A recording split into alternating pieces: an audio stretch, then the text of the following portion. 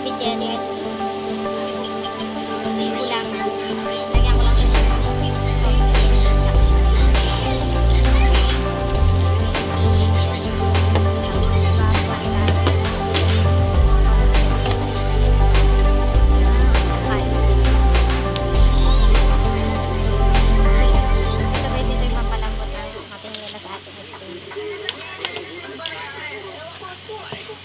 guys, start na ya. tayo.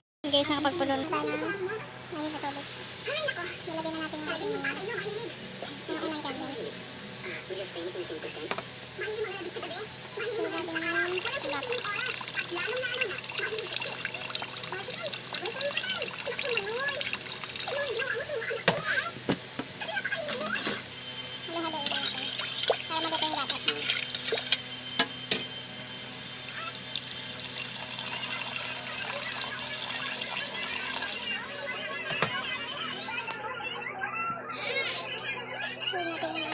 Asin.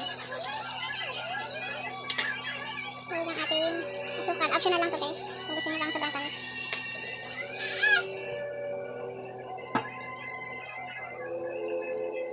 Sulit natin guys ang ating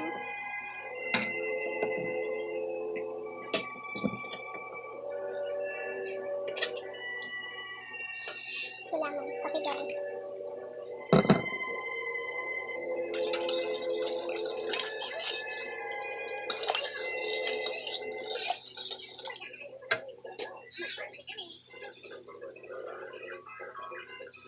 Guys, salasahan muna natin.